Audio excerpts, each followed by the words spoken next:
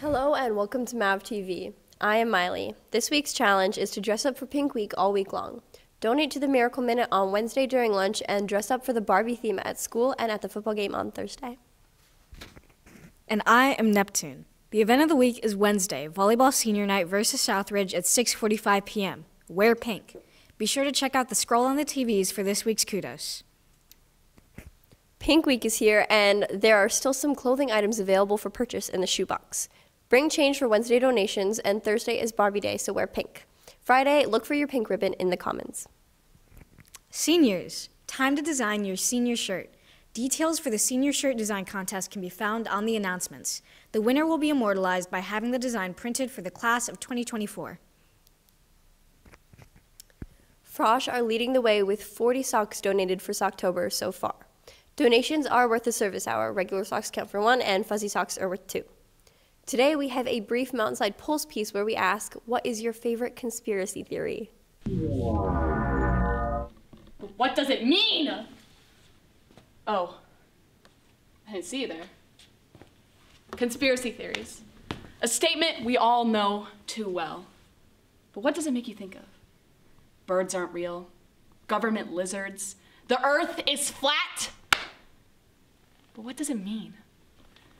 Webster's dictionary states that a conspiracy theory is a secret held from the public eye. But that's not what I'm here for. I want to figure out what the best, most believable conspiracy theory there is. So, I took to the streets of MHS and I asked you what you thought the best conspiracy theory is.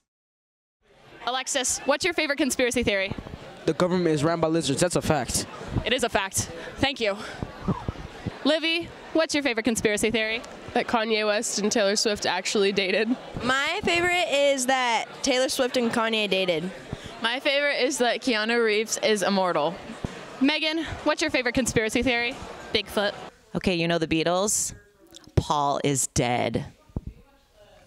Well, I can't say anything too controversial, so I'll have to go with the Bermuda Triangle. The Chuck E. Cheese pizza one, where they like reconstruct the pizzas out of like old pizzas. Interesting. Um, I like the one where aliens are living in Area 51. The world is shaped like a giant dinosaur. Jacob, what's your favorite conspiracy theory? Hollow Earth because it's really stupid. That everything is going to be okay. School spirit contributes to nationalist mentalities in the United States. Go Mavs! So many answers from the public. What does it mean? What could the government, or should I say, council, be hiding from us? Like, who runs MHS Side Confessions? What happened to the ghost in the basement? But most importantly, who really is Monty the Maverick? Tune in next week where I answer these questions and more. The chemo bag donation is still going on. While we have some donations, we're still short of our goal. This also qualifies for a service hour. See the announcements for items to donate.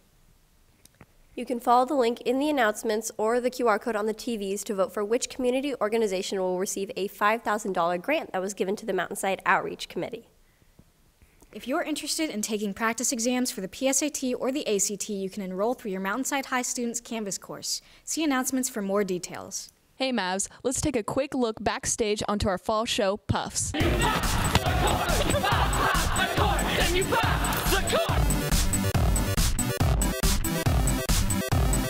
We skip rehearsals tonight?